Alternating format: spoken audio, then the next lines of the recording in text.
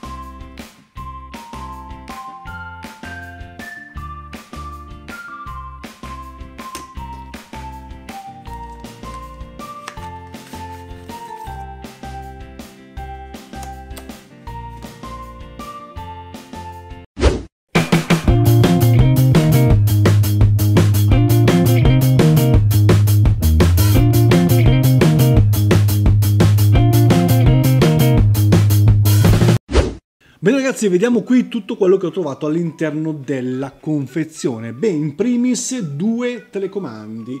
Uh, perché due telecomandi? Perché questo proiettore ha un dangle integrato ed è una cosa davvero strepitosa, infatti non vedo l'ora di farvelo vedere, ma ecco qui il telecomando del dangle che è questo qui. Questo qui invece è il telecomando del proiettore, guardatelo qui, molto molto classico. Poi sempre all'interno della confezione ho trovato due cavetti, uno per l'HDMI che è fatto in questo modo e uno per appunto eh, la corrente che è il classico attacco che hanno più o meno tutti i proiettori. Anzi c'è anche un terzo cavetto AV che questo viene sempre messo che è un attacco RC per le solite diciamo i vecchi device tipo telecamere vecchie che hanno questo aggancio lo potete attaccare tranquillamente. Poi all'interno del brand kit che cosa ho trovato? Una cosa molto molto interessante e ve la faccio subito vedere, a parte questi due puscolini qui, anche il certificato di garanzia che guardate con questo qui voi andate sul sito praticamente di Jaber scansionando questo QR code e attivate una garanzia di tre anni completa sul prodotto davvero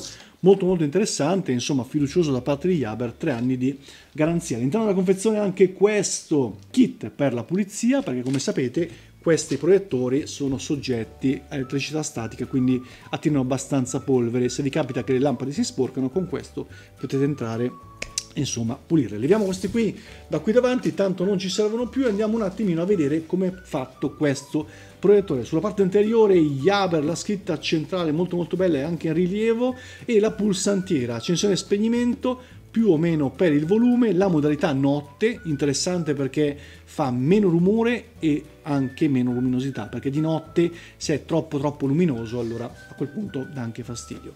Qui la possibilità di cambiare la modalità musicale e l'NFC, quindi prima cosa particolare, oltre alla modalità notte che ritengo piuttosto interessante, particolarità che questo proiettore ha NFC. Che cos'è l'NFC? Per chi di voi non lo sa, beh, è quella tecnologia che utilizziamo per pagare con i nostri cellulari, quella della Contatless per capirci. Stessa tecnologia all'interno di questo proiettore che ci permette appoggiando il nostro cellulare sul proiettore o mettendolo sul soffitto, nel caso avete soffitto che magari in quel caso diventa un po' scomodo, di condividere immediatamente lo schermo. Poi vi faccio vedere esattamente come funziona perché è davvero molto molto comodo. Nella parte posteriore troviamo tutti gli ingressi partendo dall'ingresso qui che è l'ingresso AV, l'ingresso cuffie, poi abbiamo l'ingresso USB Type-C e l'USB Type-A. oltre ovviamente all'ingresso HDMI che ci permette di collegare qualunque cosa vogliamo. Qui un sensore per il telecomando, quindi un sensore IR che troviamo anche, guardate, nella parte anteriore. Ci sono due sensori qui e sono uno appunto il secondo IR e l'altro invece per la modalità di messa a fuoco e di cane store automatica. Infatti questo proiettore ha messa a fuoco e cane store appunto, mi ripeto, automatiche. Leggete qui GBL, infatti questo proiettore ha cassa GBL all'interno, cosa che lo rende davvero interessante perché ha un audio che io su un proiettore, ne ho provati 5-6, non avevo mai sentito, ma davvero mai.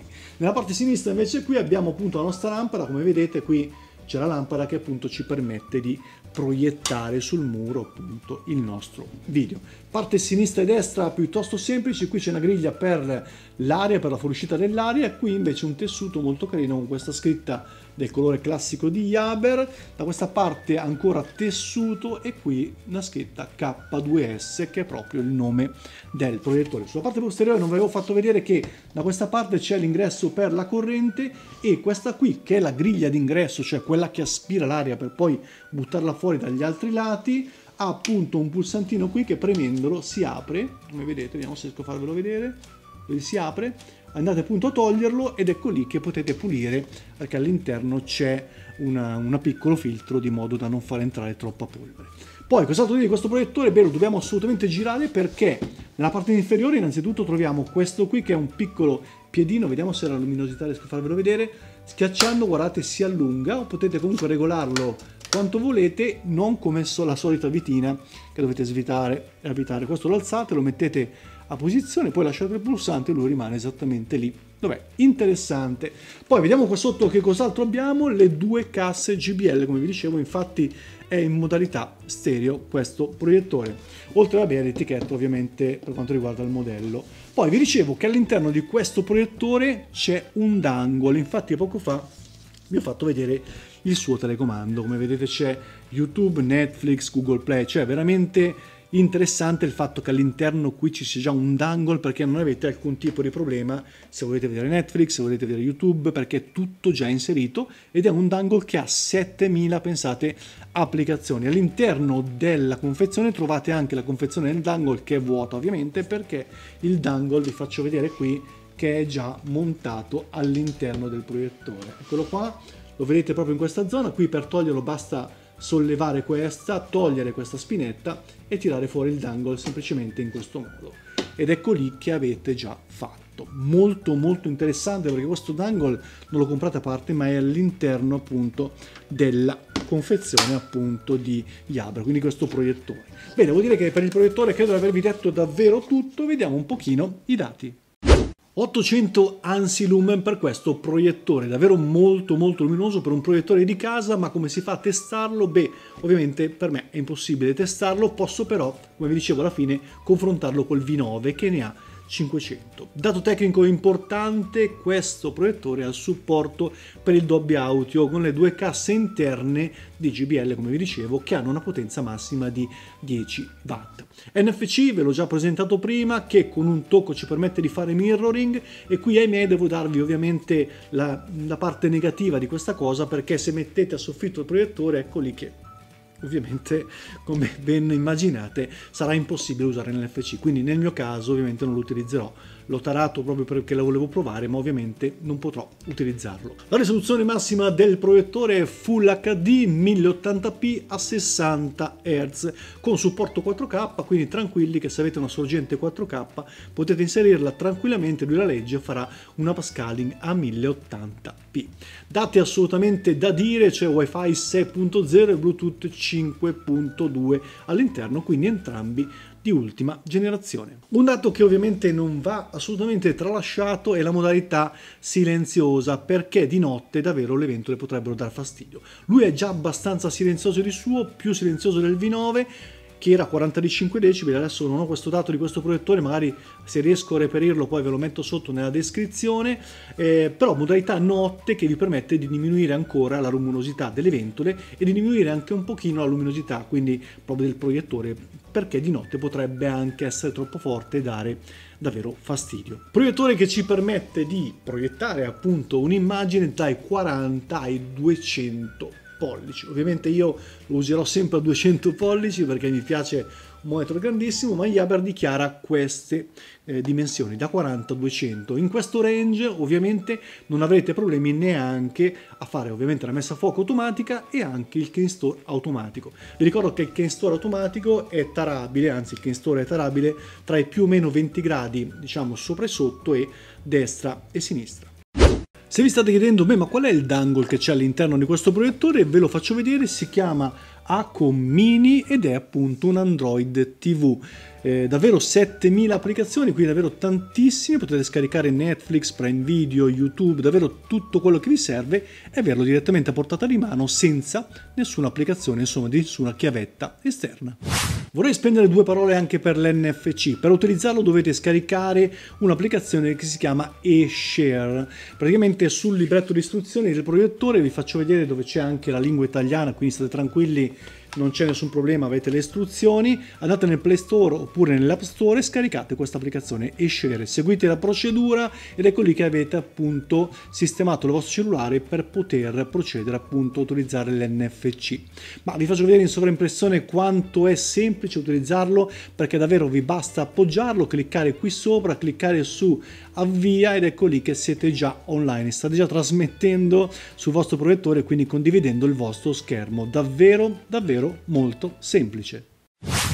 Allora andiamo a vedere un po' i menu di questo proiettore, io spero si veda tutto bene perché è davvero difficile, lo dico sempre e lo ripeto, difficile andare proprio a registrare un, praticamente un proiettore che proietta sul muro.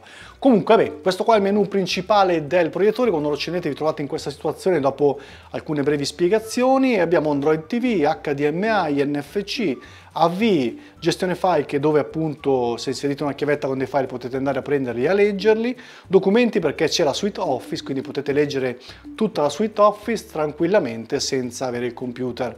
Nei temi è molto carino, potete andare a selezionare un tema diverso da quello che magari avete al momento. Questo ad esempio mi piace molto, selezioniamolo ed ecco lì che mi trovo con uno sfondo del proiettore cambiato, molto bello. Impostazione lo salviamo, lo lasciamo per ultimo, qui abbiamo la modalità salva schermo, anche questa molto carina, perché? Perché selezionandola, scusate ho schiacciato un doppio bottone, abbiamo la possibilità di mettere un salvaschermo a immagine, come vedete, oppure anche un salvaschermo ambiente, cioè diciamo un video che si muove di un, di un sottofondo oppure di un, so, di un ambiente di montagna piuttosto che un ambiente di mare, come vedete montagna, molto bello perché potete metterlo come salvaschermo e quindi nel momento in cui parte lo salvaschermo parte in questo modo, è anche bello proprio per un discorso di, eh, come dire, eh, di estetico. Ecco. Andiamo un attimino poi avanti, abbiamo la modalità silenziosa, come vi dicevo, attivabile anche da qui, se l'attiviamo, vedete, si scurisce un pochino il video, così si schiarisce, Bluetooth speaker, se ne avete ovviamente da connettere, qua tutti mirroring, ovviamente ogni mirroring avrà una sua procedura, per il mirroring Android ad esempio entriamo e qui c'è la procedura di collegamento, ora non sto a farvele vedere tutte altrimenti stiamo fino a Natale, ma comunque sia con l'NFC ad esempio risolvete tutta questa situazione del mirroring semplicemente con un tocco. Entriamo nell'impostazione perché voglio farvi vedere la differenza, vedete qua c'è un menu a sinistra mentre nel V9 il menu era assolutamente diverso. Abbiamo rete, Bluetooth, sorgente, proiezione, qualità immagine, suono generale circa, circa che è tradotto davvero male, all'interno c'è informazioni sistema, aggiornamento e ripristino di fabbrica, vabbè. Partiamo dall'alto, la rete ovviamente è semplicemente il wifi, dovete collegarlo, il Bluetooth, se, dovete, se volete appunto aggiungere eh, qualcosa in Bluetooth lo potete fare, sorgente qui potete andare a selezionare le varie sorgenti, la sorgente di avvio se volete per esempio che si avvia direttamente con Android TV, voi lo mettete qua, quando lo accendete parte direttamente, comunque questo poi selezionate voi a secondo di quello che vi interessa. La, sulla proiezione mi vorrei soffermare un attimo perché ci sono le varie modalità di proiezione, mh, tavolo anteriore e tavolo posteriore, scusate che è tradotto molto male, questo qui è tavolino anteriore e questo qua, scusate, questo qua è tavolino sinistra, tavolino destra, nel senso che se selezioniamo questo lui gira l'immagine da destra a sinistra per capirci, invece soffitto la gira sotto sopra e da destra a sinistra soffitto posteriore, vabbè ve l'ho spiegato perché era davvero tradotto molto male, impostazioni di, ehm, eh, di, di, riproduzione, tastiera automatica, anche qua è tradotto molto male, in realtà questo qua è il keystone, infatti se entriamo nel manuale vedete che è possibile vedete io sposto a destra, lui va a destra, io sposto a sinistra, lui va a sinistra, cliccando su ok scendo, posso stringere, vedete a destra in basso, posso allargare, insomma posso andare veramente millimetricamente a regolare un po' quello che è lo schermo se non sono soddisfatto pienamente dell'impostazione automatica. Questo qua invece è il fuoco automatico, non sto neanche a farvelo vedere, lo cliccate semplicemente, c'è questo e poi fate su e giù e ovviamente potete regolare automaticamente il fuoco. Torniamo un attimo nelle impostazioni perché fa, così facendo sono uscito, sempre nella proiezione e poi l'impostazione di luminosità. Qua potete andare ad alzarla ed abbassarla nel caso appunto vi interessa, ma piuttosto che fare questo direi che andare nella modalità silenziosa forse è più facile. Qualità di immagine ovviamente qua ci sono delle tarature, utente standard vivida e naturale, abbiamo anche il colore, temperatura, personale, cool, normale caldo, secondo insomma di come preferite. Come vedete ci sono davvero tantissime impostazioni, anche la modalità audio, utente, standard, musica, film, ovviamente su utente personalizzabile e in generale abbiamo l'impostazione della lingua, la modalità di accensione e il salvaschermo che vi ho fatto vedere prima c'è anche nel menu. Allora ragazzi, siccome ogni promessa è un debito, inizio video vi ho detto avrei fatto un confronto, a sinistra il Jaber V9 e a destra sempre Jaber il K2S, cioè quest'ultimo modello. Come vedete il menu è completamente svecchiato, per quello di sinistra si vede che è un vecchio menu, quello di destra invece molto più smart, molto più carino, insomma davvero più bellino. Quali sono le differenze tra i due. Mm, le due differenze sostanziali sono che beh, ovviamente il K2S ha confronto al V9 l'NFC che appunto nel modello precedente V9 non c'era, ha una maggiore luminosità anche se a conti fatti forse forse non si nota neanche tanto, considerate che il V9 ha 500 ansi lumen mentre il K2S ne ha 800, dovrebbe vedersi abbastanza ma non vedo proprio una differenza così atroce. Considerate che i due si rubano a vicenda luminosità perché tutte e due illuminano tantissimo. La differenza anche sostanziale qui davvero eh, c'è il mondo, ve lo garantisco io, anche se non riesco a farvelo sentire, suono eh, del, del K2 davvero supera di mille volte quello del V9 e qui fidatevi davvero fantastico. E poi ovviamente nel K2 c'è il supporto Dolby mentre nel V9 non c'è. E poi cos'altro? Ovviamente la cosa base, cioè che a destra, quindi nel K2 abbiamo inserito il dangle dove andiamo appunto ad avere già all'interno tutta una serie di, eh, di, cose, insomma Netflix, YouTube eccetera, senza dover andare ad applicare diciamo un'ulteriore eh, chiavetta come invece succede nel, in quello diciamo vecchio V9 dove però ovviamente se andiamo a selezionare HDMI 1 Abbiamo anche qui la nostra chiavetta che ci permette insomma di andare a utilizzare Netflix, eh, Prime Video, Amazon Music, YouTube, veramente tutto, tutto, tutto. Vorrei farvi vedere la differenza tra i due, vediamo se riusciamo ad avviare qualcosa. Apriamo sul V9 Netflix e apriamo anche sul K2 sempre Netflix. Aspettate un secondo, non ci sto capendo più niente con tutti questo miliardo di telecomandi, ma comunque per capirci, ecco lì, entriamo nel mio account, come vedete davvero quello di destra si, si vede che è leggermente più luminoso ma vi assicuro che la differenza è davvero davvero davvero poca proviamo a mettere lo stesso film qua vedo Ghostbusters ok facciamoli partire insieme vediamo se siamo fortunati e facciamoli partire tutte e due giusto per capire e vedere un po' la differenza tra i due come vedete sono davvero tutti e due molto luminosi. Quello di destra, come vedete, guardate la scritta Sony come è più luminosa piuttosto che il V9. Quindi quei 300 lumeni in più effettivamente si vedono, come vedete qua è abbastanza palese, si vede molto bene.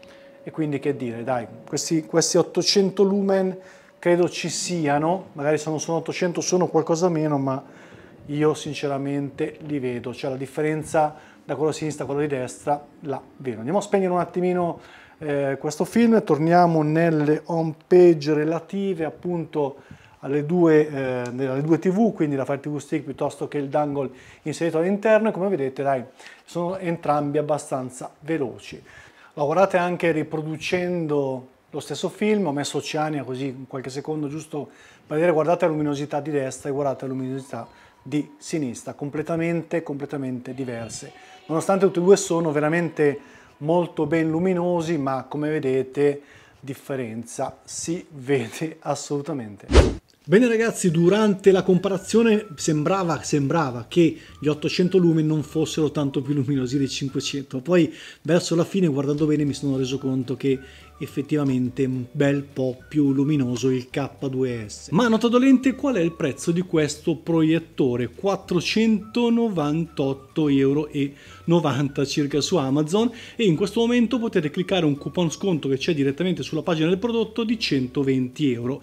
In più, beh, vi do io un 10% di sconto che ve lo lascio qui sotto, me l'ha fornito Iaber, quindi potrete comprare questo proiettore oggi, quindi in questo momento a 330 euro circa.